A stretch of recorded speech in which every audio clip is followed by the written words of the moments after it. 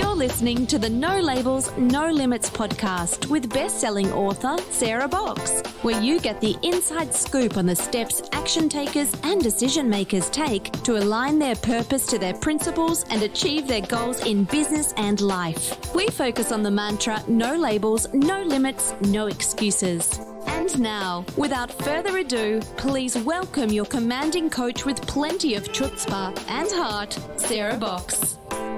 Hey there, and welcome to the No Labels, No Limits podcast, where we shatter the boundaries that hold us back and empower individuals to unleash their true potential. And I'm thrilled to introduce today's guest, Whitney Hinshaw Sullivan, who is both a remarkable leader, coach, Enneagram practitioner, keynote speaker, and team builder. And all of that is part of what makes Whitney so interesting to me. She's dedicated to helping leaders and teams thrive. And she does that with this unwavering energy and confidence and resilience. And I think that comes from her background in professional education, which she's had since 2011. She's honed that expertise into leading fitness, wellness, and student leadership programs. So she comes from the stunning landscapes of Bozeman, Montana, where I've spent some really cold nights camping. Um, yes. Very cold. Um, Whitney finds inspiration in nature's beauty. And when she's not empowering others, you're going to find her immersed in books, exploring the great outdoors, or guiding others on their cycling journey. So today, Whitney and I are going to touch base and talk about her invaluable insights and actionable strategies to break free from limiting labels and beliefs. So get ready to unleash your true potential and take bold action towards your goals and dreams. So now let's dive into a transformational conversation about resilience, grit, the Enneagram here and there, and then setback resistance with the incredible, incredible Whitney Sullivan. Hi, Whitney. Hi, Sarah. Thank you for that wonderful introduction. Well, it's so fun to learn about you. And we, you know, I always love in the little pre-chats to get a couple of um, nuggets from you. So before we dive into how you got where you are today, um, I would like to know, like, what's the one thing that's happening in your universe this week that just keeps catching your attention? Mm, that just keeps catching my attention. Um, that's such a good question. And I was meeting with an entrepreneur friend uh, this morning, and I think, and this is kind of based off of anyone who watches Ted Lasso, right? And the theme, the big theme behind Ted Lasso is believing in yourself and believing in others and believing in what you have to offer. And I feel like the theme this week has been that message, especially in entrepreneurship. And I'm sure you found in your own journey that being an entrepreneur is a big mindset game. And, you know, to all the trials and, and triumphs of being an entrepreneur really requires such a strong belief in yourself and mindset and a set of resilient skills. And I feel like that was the theme of the week of just you know keep building your momentum and um, keep believing in yourself as you know and that sounds so that can sound so cheesy right? But when it comes down to it when those little moments that you really need to show up with confidence um, you know i just i love some of the lines from ted lasso about how important it is to show up with that self-belief. And that's what, what me and a friend were talking about this morning um, as we continue to navigate our journey as being entrepreneurs well, how great that you have a friend to talk about that with. Yes. Right. Mm-hmm. Because oftentimes I get texts from one of my co creators and stuff just saying, like the, today's text was, well, so I'm working alone. He's doing a ton of video editing because we're on this big production thing, right? He goes, it's just me and the cats, right? His wife's at work. Mm-hmm. just thought I'd bounce an idea off you. I'm thinking, okay. But he mm-hmm. really didn't need to. He just needed to like put himself out there and get a reflection, right? Mm-hmm. Absolutely. So but that having your friend to share that with and that mm-hmm. belief in yourself sometimes, Whitney, don't you find it's a matter of, okay, I'm I'm a little uncertain, but I'm standing up and I'm walking, I'm moving. Mm, yes. And you keep moving forward and keep putting yourself out there. And the keep moving forward is something that it's kind of like a little inner voice that's kind of kept rising up um, this year. So absolutely, you just have to show up and keep moving forward. And I love what you said too about like, you know, he's really talented. Sometimes we just need that little spark of energy from being yeah. seen, heard, and valued by someone else. Yeah. Otherwise, you're in a vacuum. It, when mm-hmm. we're not in vacuums, but we perceive that, right? And we don't want to mm-hmm. bother people or whatever. But just those few minutes right? And mm-hmm. in that mm-hmm. particular case, it was 30 seconds to read the text. I'm not a fast texter, so it took me a little while to think about what to write back. And then I sent it. Mm-hmm. Right. But, you know, and he's often doing his thing. So, anyway, that's all about appreciating community and connection. But mm-hmm. you weren't always in that space. And one of the things that I um, found interesting in your background was you know the impact of being rejected from graduate school and how mm. that impacted you right and how that mm-hmm. became what you call a seismic shift moment can you share yes. a little bit about that yes absolutely so you know i've always loved school i've always loved learning um, you know but when i kind of got towards the end of my undergraduate career i was finding that my particular degree area um, just wasn't really the fit for me moving forward. So I have I have a health and wellness background. Um, and I got a degree in dietetics, so nutrition, but I was like, ooh, I don't actually want to be a dietitian, I found out. and, you know, I was starting to look at other options. And I had this really amazing opportunity to be a graduate assistant um, at a campus rec- at a campus recreation department at the University of Nebraska. And, you know, I had the job. All I had to do was get into grad school. And it was a little last minute. And so, like, I'm, you know, really hustling to pick a degree program. And I thought, like, oh, well, I'll, I'll go for master's of business. Like, that sounds like a great experience. It sounds like great transferable skills. It sounds like everything that I want to learn. Um, and you have to take a test called the GMAT. And that's kind of like the GRE. Um, but despite my love of learning, despite what I believe about my intelligence, I'm I'm not the best test taker, and for the life of me, I could not get the test score that I needed in order to for them to even look at my application. So, despite my excellent references, all of my leadership experience, and I had a great GPA, they didn't even look at my application because my GMAT score wasn't high enough. And you know, that's really embarrassing for one. Like, you know, I, I, was like, oh my gosh, did I just get rejected from grad school? I mean, I never thought that I would come across that. You know, school was always such a strength for me. Um, but then I had to go tell my future supervisor, her name was Vicky, uh, that, you know, she's going to have to hire somebody else because to have a graduate, graduate assistantship, you have to be in grad school, right? Um, and I just I never imagined what she would say to me when I walked in to to tell her that. And I, I gave her the story, and she just paused and looked at me and said, "Well, we'll have to get you into another program next semester." And you know that is one of the most life changing moments that I had that happened in such a small moment and it was all because my life path came up across someone who had a very clear purpose and intention that she was going to look at students as individuals. And she was so committed to student development. And, you know, she had a little starfish poem um, on her desk. And I don't know if you've heard the starfish poem, but it talks about how a woman's walking along the beach and throwing starfish back into the ocean. And someone comes and says, Well, you can't possibly get all of them. And then she just picks up another one and says, you know, it made a difference for that one. And so Vicky had that in her office and she eventually even got a starfish tattooed on her hand. Like that was like such a strong life purpose for her. And, you know, that life purpose coming up across my path really made this big shift in my life that eventually I got a master's of higher education leadership and which ended up being a really great program for me. And then just the mentorship that I was able to glean from Vicky was so big for confidence, for resilience, for my ability to navigate my career with a lot of energy and kind of a sense of um, agency.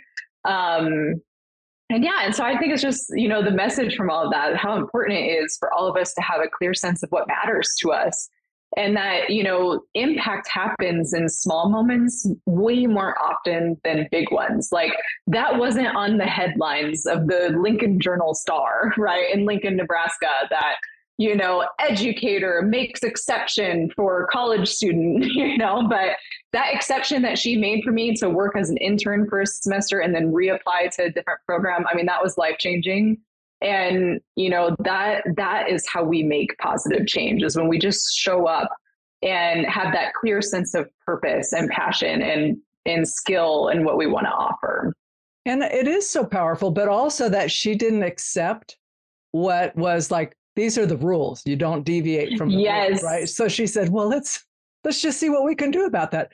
Because mm-hmm. oftentimes it's so easy to go, well, we can't, instead of saying, mm-hmm. what's another way? Oh, I love that. Another yes. Way. What's another way? And it's like, you know, let's try something else. Well, and I always think the rules are there to make it easier for the people who are running, quote unquote, running the show, right? The admin, mm-hmm. because it keeps everything the same. I'm going, but if everything was the same, we won't have anybody who's individual enough to right. learn and grow. Right, absolutely. And what made Vicky so powerful too is that she was she had so much clarity in how her purpose was to show up and, and develop students that it wasn't even like, oh, let me check and see if I can make it. It was just like, oh, okay, well, we'll figure that out. With I got the sense so much like she didn't care. It's like no, she didn't care. it's gonna happen. Absolutely. Oh, that's so great. So now going forward, then, you know, you talk, you have your keynote workshop, the resilience battery, which, mm-hmm. by the way, I think that is such a great uh, title and metaphor for what it's like, right? To just mm-hmm. keep going through the whole battery piece. But you talk about the importance of staying grounded, gritty, and growing in work mm-hmm. life and leadership. So I like the alliteration on that too. Could you share a key insight from that and um, and maybe how that has particularly had a profound impact on individuals and teams that you've worked with? Yeah, absolutely. And I think where that came from is, you know, well, first of all, just the idea that our resilience is like a battery was something that I learned after going through a big period of burnout and, you know, reaching a, a place in my career where I really did hit the red. And you know i really had to like work my way back up through orange and then yellow into green. And then that's where the grounded gritty growing came because in that space of being burnt out of starting a new career having lots of life changes i mean it was really like a resilient season and i had to learn new strategies to stay resilient and that's where the grounded gritty and growing came from. And so to me resilience is the mindsets and habits you know that that keep you in those the three g's space and really nurture your capacity for the challenges in our in your life. Because i don't i think humans all have the capability to be resilient. Sometimes it's the capacity that we have to nurture and so where this comes in especially with clients is you know, I think it's a really shared experience that sometimes we hit the red, we hit a state of overwhelm, we hit this state of like, oh my gosh, like I'm really overwhelmed and I don't know how I got here. And so, where this tool has been really helpful for clients and for teams is to create this language of, okay, here's the signs and strategies of the green here's what yellow looks like, here's what orange looks like, and here's what red looks like. Because I think sometimes we tend to wait to manage our energy or our resilience until we hit the red. Yeah. When really, when we can manage our energy and our resilience and our stress in the green, we can make a little bit more just give and go changes rather than these big swooping changes. So the grounded, gritty growing, I kind of view as you know, I like to think of like when I'm traveling, I have an iPhone battery, right? When I'm traveling, like I'm on offense with that battery, right? Like any if I the moment I hit the airport, I'm looking for like a plug-in because I am keeping that battery in the green because when you're traveling, you never know what crisis could happen or what challenge you don't know where your next charge is. And so it's like, man, you go on offense. So to me, the grounded, gritty growing habits is like going on offense with your own resilience battery and making and those are the habits that keep you in the green rather than just always playing defense with your energy and waiting until you get into that orange or red zone before you make a change but instead building this system you know these mindsets these habits that keep keep you in the green and go on offense with them. Well give me or and our listeners one or two examples of being on offense from being the, on offense. Yeah, being on offense in the yellow and then the orange and then the red. Because, you know, having been in all of those, and, you know, mm-hmm. it's this mm-hmm. kind of wave, right? But honestly, when you're in the red, it it's even worse because you mm-hmm. there's that wonder am i coming out of this right like am mm-hmm. i always going to feel this like uncreative lack of spark mm-hmm. right? when you're really burnt out and you don't want to acknowledge it mm-hmm. Yeah, exactly. So, how about and a couple of strategies? Yeah, absolutely. So, starting with staying grounded, you know, the things that keep us grounded are the mindsets and habits that keep us connected to our own vision, values, and inner voice.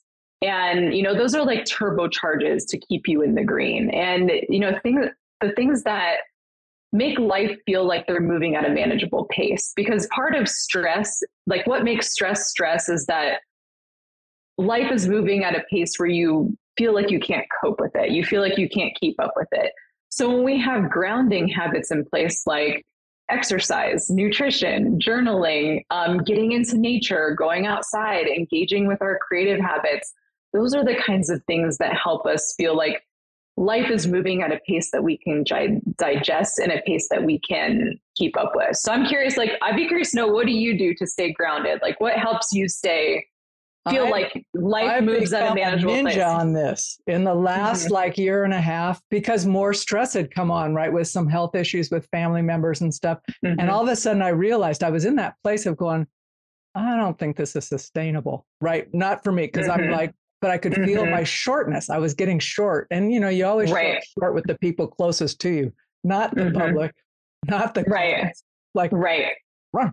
So um, so I just made a commitment that I would change what I was eating slowly, not like this overhaul thing, but like, am I getting enough of the right things? But am mm-hmm. I sleeping enough? And am I mm-hmm. outside enough? Because if I can be out in nature, even for 30 minutes, it really mm-hmm. shifts my head. So my mm-hmm. dog is my cheerleader, right? like, yeah, absolutely. walking. But that has helped me. But the other thing that has helped for me, Whitney, is um, permission to say no. Mm, permission mm-hmm. to hand over because you know like you have this sense of i want it to be a certain way and i asked my this was an i talked to myself a lot Mm-hmm. And like last September, when it was really kind of this crescendo, I asked myself, what's the worst that could happen if I just handed over decision making to the rest of the team? Mm-hmm. Right. I showed up. It mm-hmm. wasn't like I wasn't participating, doing my part, but what if I just said, what is the best way you guys think we should go? Right. I want to tell you what, mm-hmm. Some great decisions have come out of that, and my stress yeah. level came down. Right. Because they're absolutely super smart, super creative. Mm-hmm. I'm like, oh, I should have been doing this a long time ago.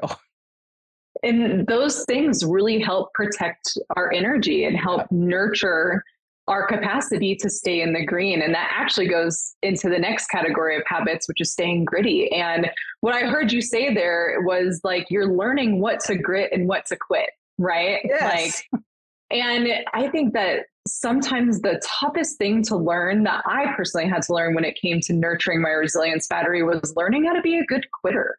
And that like part of my burnout came from not quitting. Like you know we can't do everything. We have to know what to limit which are our boundaries. We have to know what to quit and then we have to know what to grit and um, I have a I have a couple definitions I could share on this if Please you want to hear it. Please do. So um, and so in my journey back from burnout, um, I, I ended up like articulating the difference between grit and quit because there's just this, you know, personal thing I was having to work through. And what I found was, you know, to grit is staying the course and working hard when the easy but wrong thing would be to quit. And to quit is letting go of what's not working and moving on when the easy but wrong thing would be to grit. And so repeat you know, that because it sounds convoluted, but it's so perfect. yeah, it's kind of a head twister. So it is. So let's say it one more time. Mm-hmm. To grit, staying the course and working hard when the easy but wrong thing would be to quit. And then to quit is letting go of what's not working and moving on when the easy but wrong thing would be to grit.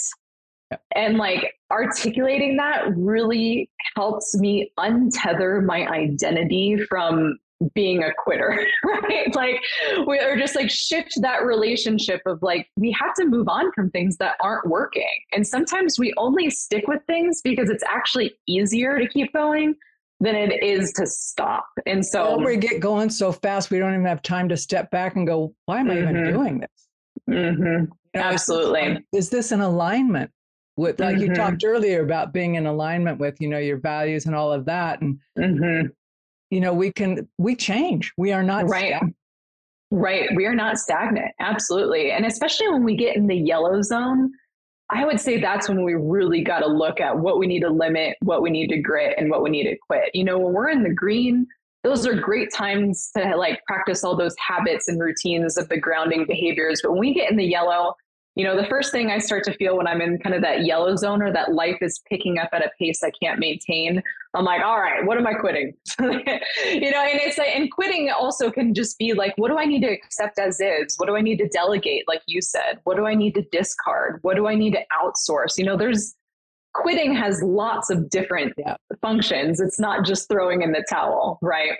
Absolutely. Well, and I, I loved what you said about what do I need to, um, like not make so important. You know, there's things mm-hmm. like, okay, I, I need, because we have these stories in our head about how things need to be, right? Mm-hmm. Mm-hmm. We put those rules up there. We can change those yeah, rules, right? Exactly. And so, and I, this I want to segue in and talk about your Enneagram work because this reminds me of that of when we are more self aware, right? Mm-hmm. And it's hard to be mm-hmm. self aware when you're stressed and on autopilot or in reactive mode. But mm-hmm. the more self aware we are, for me, I uh, there were moments just this past week where I thought, "Am I? Do I really care about that, or is that just an automatic response?" You know. Mm-hmm. And the mm-hmm. minute I said, "I don't really care about that," then I, my follow up is, "Then why are we even thinking about that?" Right. Right. Move on. Right. Right. It mm-hmm. doesn't matter. And but those, mm-hmm. and then I have to laugh because I'm going, man, I've done that for years, like making it harder on me right right. So but that's a releasing not quitting. Mm-hmm. i'm not quitting being who i am. I'm just going it no longer serves.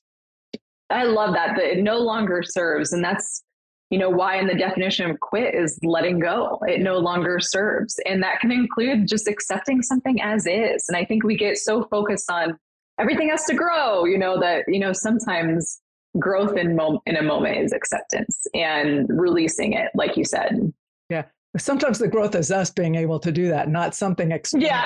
It's like yeah. and to grow.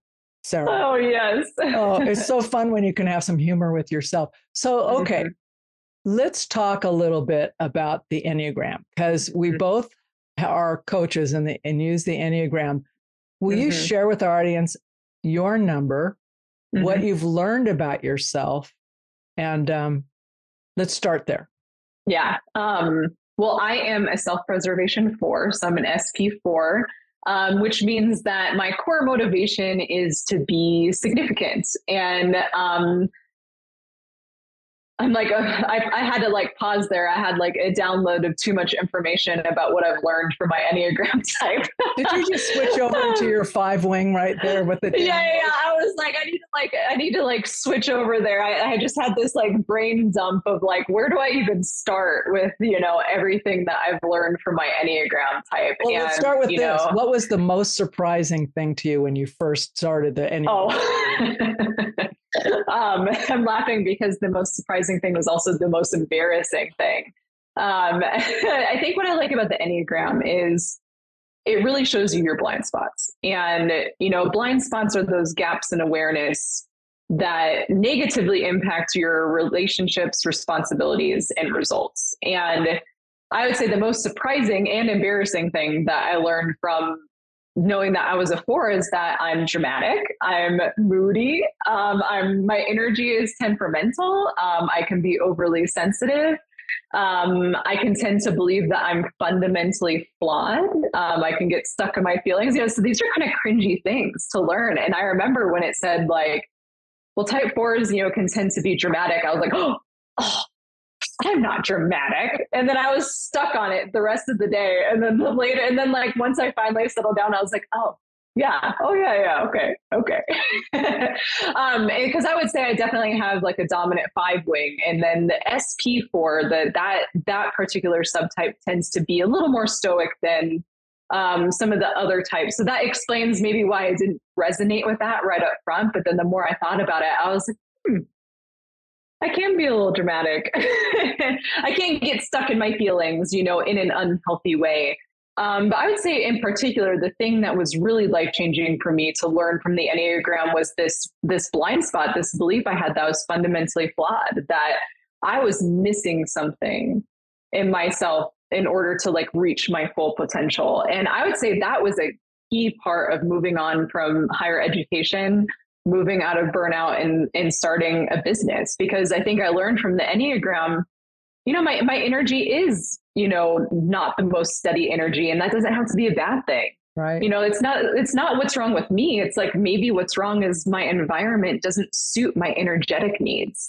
And so part of what moves me into entrepreneurship, which surprised me, I never really thought I'd be an entrepreneur, was like, I get to manage my energy. And I'm sure as a type five, you know, you get to appreciate that you get to manage your oh, energy in the way that you I want to. Totally praying at the yes. of your energy, right? Yes, exactly. And I get to manage my energy in the way that works for me.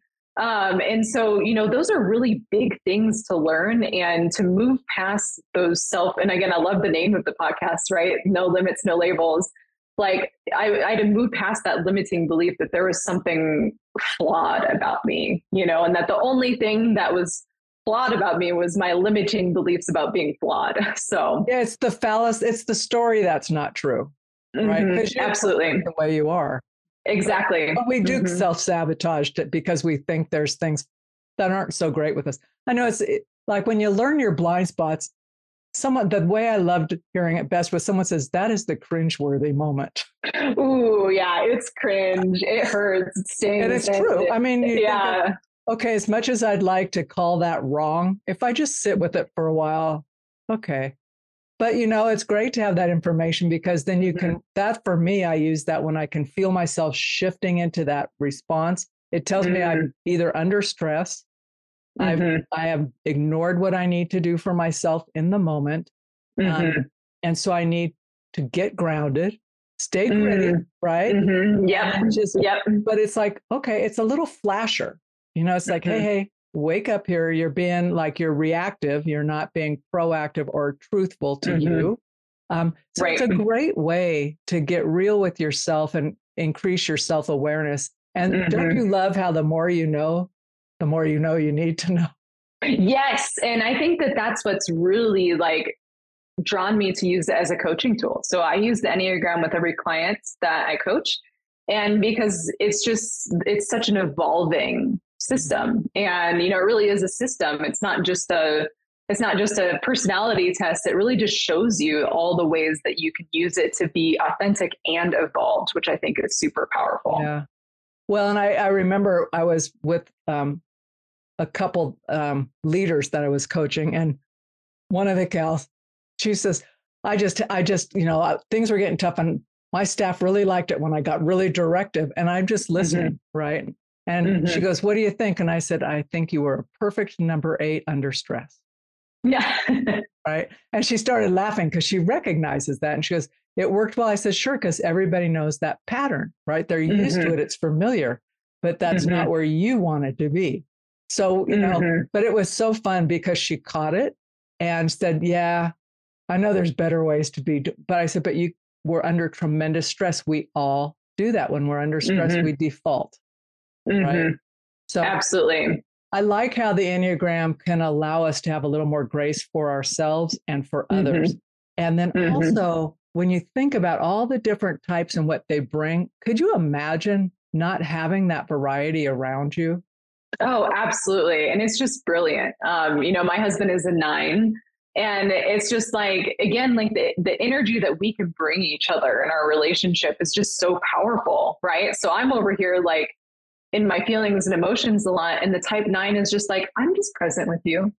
I'm not making any meaning about this. I'm not projecting past or future on you. I'm just with you in this moment, you know? And so it's like the ways that like we can learn to show up for each other um, when we have that language. And I think the Enneagram just gives you such great language for how you can respond to any given situation. And instead of just reacting, you know you create that mindfulness in that space to choose your response and the enneagram gives you that language as to what response might suit that moment so when you use it or do you use it with teams or just individuals you use it with teams. i do use it with teams yeah so sh- i know some of our listeners also do that as do i but mm-hmm. i'd like to know maybe one of the things you ways you like to use it with teams mm-hmm. so i'm certified through the ieq 9 and um, which is integrative enneagram solutions they, it's called the ieq9 assessment and i'm actually working on a team retreat at the end of this month where they're running the team reports and I think the team report is just really cool. So each person gets the professional report, which shows lots of leadership, extra leadership insights that the standard report doesn't have.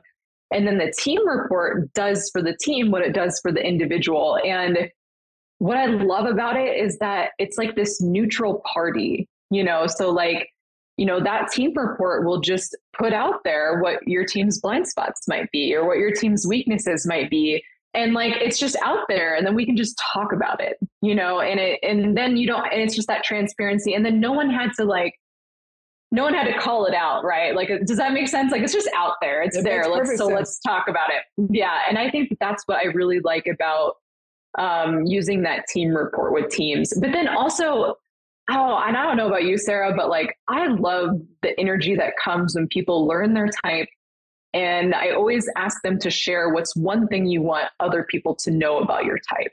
And and then I ask the group to share what's one thing that's great about working with that type. And just the connection that happens in that space, oh, like that that's just it, it, truly changes the dynamics of the team like when it when the team can come together and feel like they're seen valued heard understood the energy that comes from that connection is just really powerful. And I think the Enneagram facilitates that really well. I think so too. I like how you describe it as a neutral. And when I'm not using my free assessment, I use the iEQ9 also because I awesome. do like the detached way that it just says, here's some things you might look at. I really like mm-hmm. the stress level I'm like going, yes, yes. Here's a couple leaders who one of them's totally in the green. The other mm-hmm. one's like, mm-hmm. wow, wow, flashing red. I'm going, okay, right. Let's talk about how this needs to, you know, mm-hmm. you guys mm-hmm. want to see this shift and what. Absolutely. Um, and it starts some good conversations about what support might look like to get that strain level, or you know, if we use resilience battery terminology, how do you get back in the green? On your strain rather than, you know, all red or orange on that report. And, you know, I think leaders wouldn't know, right? Like they might, they might question. not know. Yeah, because it, it, it is, it's vulnerable to bring up. But like then when the leader has that kind of sense of, oh, like there might be something going on in this person's personal life that I don't know about, that's, you know, pretty valuable information to know. It is. And I think our teams, at least the folks I work with, te- tend to be the organizations tend to be pretty close knit mm-hmm. as a group. Mm-hmm. They're doing human service work and work in the community. So they tend to know each other. But also, there's this reluctance to put your needs above people who you're mm-hmm. serving, right? Because mm-hmm. obviously their needs are very urgent. I'm going, not any more than yours. Mm-hmm. So, but I have a question about the team report because I'm not familiar. I haven't used that yet. So, mm-hmm in the team report, does it compare the stress across the team as well? Does it highlight any of that, or do they bring their individual reports with them? And if you were to use it, has yeah, it has a team strain level on it. But that's a good question, and I'd have to actually double check to see if it's just because I know that there's the team strain, but I would have to double check the report to see if there is also a way that you can see the individual level of strain I asked for a very personal reason because one of the, my upcoming retreats that I'm doing with this group is to address some of the strain issues and how they want to mm-hmm. how they want to take care of themselves, right? And I loved when you said it's hard to know. Right? It's hard to know. Yeah, absolutely. And I'm actually thinking you know, I'd have to double check and see what if that's team level or if it's individual, but I feel like it shows the individual in some way or another. Okay. Yeah, if you check that and let me know. But yeah, I'll check it later. reports with. So welcome, listeners. This is a yeah, exactly. We're just having this chat. Yeah, it's a brainstorm session. Yeah, yeah. So here's our brainstorm session. But the the report is a big one, just like the individual reports. So I have to double check. Yeah, I really like the reports. They're super helpful and actionable, mm-hmm. um, especially yes. if you don't try to eat them all in one bite. Mm-hmm. Absolutely. Yeah. Absolutely. So, as we're winding this down, I want to come back to your talk on resilience because I think, mm-hmm. especially now or continuing now, um, resilience is super important. Mm-hmm. You know, I you know we have a deep well that we can fill, as you're talking about, but um, let's talk about how we might be able to limit certain things? Like, what are the things that you would suggest if someone says, I am overwhelmed, I don't even know where to start Mhm. and what to limit, right? Even though this is Mm, no labels, mhm. no limits, there are limits. Right, right. What are some You limits? have you, you have to create limits so you don't have limits, right? Um, Exactly. you know, um, my husband and I call that the freedom of commitment, and that's not a Whitney original phrase. That's from Mark Manson. Um, he's an author, um, a pretty a, a pretty well known author. He and he wrote some good books, but he talks about the freedom of commitment, and you know, and that's what I think of is like, what are your top priorities that you're going to devote to each day? And I actually have an assignment that I'll give clients sometimes that's called the to do list audit, which just you know it's six ways to you know figure out how to prioritize what you what you need in a day um, and so the limits that i can think of are, are just like what are the limits that help you feel safe secure and self-assured to approach the day and and really when we talk about limits we're talking a lot about boundaries yes. and limits are what you will do. And so, like you had asked about books and the prep work. So, one of the books I would recommend for readers is called The Book of Boundaries. And one of the biggest mindset shifts that Melissa Urban, the author, talks about is that boundaries are what I will do that maintains my safety and my security. And so, for example, you know, I had um, I had kind of a stressful week a couple weeks ago. You know, it just there was a lot of things going on in one week, and on Monday, I kind of had to look at my week and say, okay, like, what are the things I absolutely have to do, which is grit? what are the things that just aren't really that important, which was quit, and then what are the things that I need to limit? And so, you know, grit was, you know, I have these speaking events, like I have these activities. These are the things that I, you know, they're what I'm doing. This is my passion. So I'm gonna, I can't quit those. I can't limit those. But then, like, I'm a cycling instructor on the side. So sometimes when I get busy, that's the first thing I'm going to quit. You know, I'm going to put subs up on the sub board. You know, that is just not, I want to be reliable to, you know, the people that attend my class. But at the same time, you know, it's an extracurricular. Like, um, it's extra credit in the grand scheme of my schedule. So that's the first thing that quits. And then limit is when I start making calendar reductions. And I'm sure an Enneagram 5 can relate to this. And that's Oh, when I sis, start I've gotten going good in. at that. Yeah, yeah, yeah. And so I would say, like, when I think of limit for me as a type four, someone who really has to manage their energy is, you know, I have to start limiting how much energy out. And lots of times that's just extra meetings that don't belong. Um, limiting transitions is a big one. You know, just how many transitions you have in a day is something that I make sure to limit as well. Say why and so that's a drain, Whitney. Talk about transitions. I Oh. don't think people understand necessarily what that does to your both your energy and your resilience and all of that because it's a cost for Mhm. transition. Mhm. So there is an energetic and, and brain cost every time you switch a task or any time that you need to move from one thing to, ne- to the next. And whether or not we want to believe it, humans are not good multitaskers. We are single taskers. And so every time you disrupt your focus, it's harder to get that momentum again. And so my husband and I talk a lot about slack time and buffer time. And I would say if there was one thing that every leader could do in the next week to improve their to charge their resilience battery is making sure that you have 10 minute breaks in between all of your meetings and allowing that time to transition because that's just not how your brain works.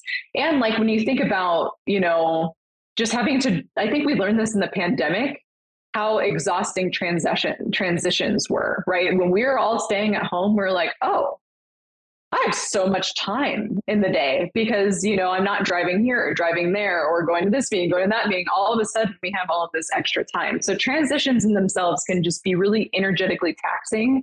And they're always going to take more time than you think that they are. Yeah, I was just listening today to a book, and um, one of the pieces of advice is assume everything's going to take three times longer than you planned for it to. Yes. And assume that your assumption needs extra time on that. Yes. Which is so true, right? I know I started planning in on my calendar, like I know I have to be somewhere, drive time. So I'll put an hour in for a 20 minute drive because who knows what's going to happen, right? Mhm. But just Mhm. so I arrive where I'm going. Right. And actually And early. Exactly. And, you know, the flow state is so important and the flow state is sensitive, but that's where we do our best work yeah. when we're in this flow state. But if we're just constantly transitioning all day, you know, or just not accounting, like you said, for enough time. And I tease my husband about this. He's a nine, he's a type nine. So I tease him all the time. What's he's the like, rush? Yeah, I'll do that. Oh, yeah, no. What's the rush? And like, he'll be like, I'm going to paint that. It'll take me like an hour. I'm like, that is not going to take you an hour to paint that whole room. Like, you got to tape it. Like, you have to, like, you have to coat it and prime it. You have to let it dry. And so I always tease them that, like, I'm like, you need to take that by like four. You know? I think your enthusiasm's good, honey, but Yeah. Yeah. realistic. No, Yeah. I'm like, I need you to drop into that type six a little bit more. Come on over. yeah. But how great that you can recognize that in each other hmm and Absolutely. have some fun with it. Hmm Oh yeah, we have lots of fun. We talk about the Enneagram um, a ton. Like, and he he really loves it too. He's in a leadership position. Um, he's in, he's moving into school leadership. So you know, especially for leaders, like just having that emotional intelligence and that extra language for how people think, feel, and behave is, you know, it's really empowering. And I've seen how empowering it's been for him and for the leaders that I coach as well, just to have that deeper sense of understanding of how someone might operate. Well, and it helps you um, pause before you engage, right? I know Mhm. that I learned that about myself. And I was going backwards and thinking, well, no wonder I flew off the handle at that, even though I didn't outwardly do it. Mhm. I'm thinking because Mhm. it violated everything I hold essential for how we interact with people, right? Absolutely. Mhm. And then I went, oh, baby. When the when I blew, I blew. Um, Yeah, yeah. But the lesson there is don't hold it, Mhm. communicate it, and let just Mhm. let it be. So Yep. as we wind this up, I would like to give the mic back to you to share some closing thoughts and then where people should best reach out to you. Right. Ooh, closing thoughts. I'm like, we we went lots of fun places. I know. today. So go wherever you want. um, you know what? Let's put a bow around how resilience and the Enneagram comes together. And here's how you can use the Enneagram for your resilience and how you can be grounded, gritty, and growing. So each type has a virtue that they move towards. And that virtue acts like a grounding habit. And then what's cool about the Enneagram is that it shows you where you move in stress, but those moves in stress can also show you the habits you need to stay gritty and what limits you might need to set. and then the Enneagram also shows you the habits you need to have in order to reach security. So we have that security line as well. So for those of you that are familiar with the Enneagram and curious about how that ties in, I was like, I'll just, I'll wrap up, I'll put a bow on um, how the three G's of resilience make, you know, go into the Enneagram. Um, but how you can get a hold of me is um, my website is whitneysullivan.com. I offer Enneagram team trainings. I do Enneagram coaching. Um, and also the the resilience battery and the three G's of resilience is a keynote or a webinar um, that I offer teams. So if you're planning a conference keynote, if you have a team webinar, if you're worried about your team being burnt out, or you know just want those tools on workplace wellness, um, you know that's something that I offer as well. But um, I'm active on Instagram and Facebook and LinkedIn, so I'm hope to see everyone there. Well, we'll definitely put those links in the show notes. Um, Whitney, it's been so fun talking with you. We did kind of go left and right, and Yeah, I was like, we'll tie it all together. I'm glad you could put a bow on it because I'm I'm not that quick on the bow. I would th- I I would have thought about it tomorrow. I'm going to go. Oh yeah. I know. Well, you're like, we, question.